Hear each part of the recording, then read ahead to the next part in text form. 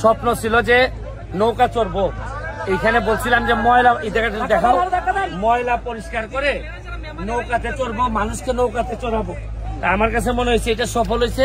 BD ক্লিনকে ধন্যবাদ জানাচ্ছি তাদের সহযোগিতার জন্য। তারা সহযোগিতা করে আজকে তাদের মাধ্যমে ময়লা পরিষ্কার করে অনেকটুকু পরিষ্কার করে। ভাই বসেন বসে পরিষ্কার পড়েন। করে আমরা আমরা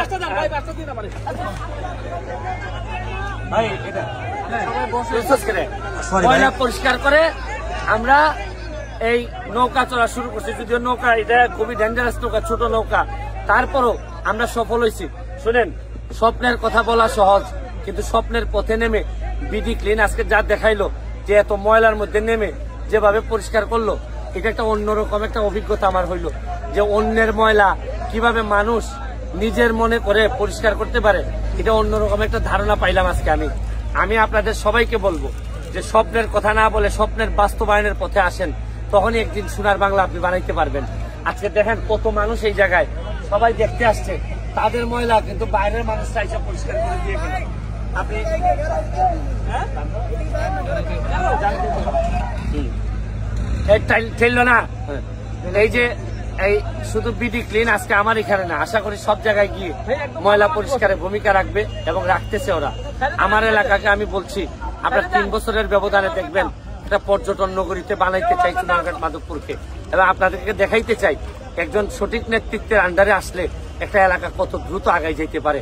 আমি আজকের মতো আপনাদেরকে বিদায় নেওয়ার আগে আমি বলব একটু দেখাও যে কি পরিস্থিতিতে আমরা আজকে একদম ভাই মাইস কেন করিন আপনি? মাইস কেন করিন?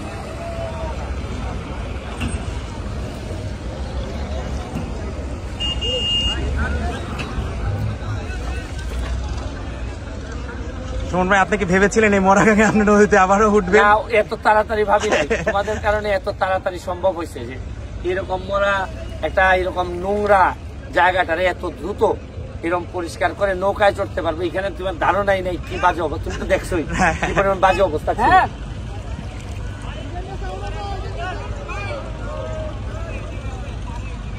এমপি বানাইছেন চার দিন হয়েছে আর যদি বাচ্চা থাকে বিশ বছরের কাম ষাট দিনে শেষ বা এখানে কি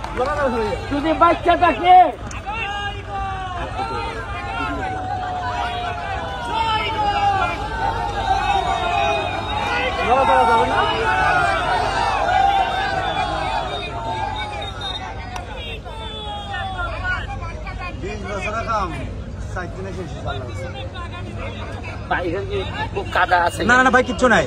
কিছু নাই? না, 哈哈哈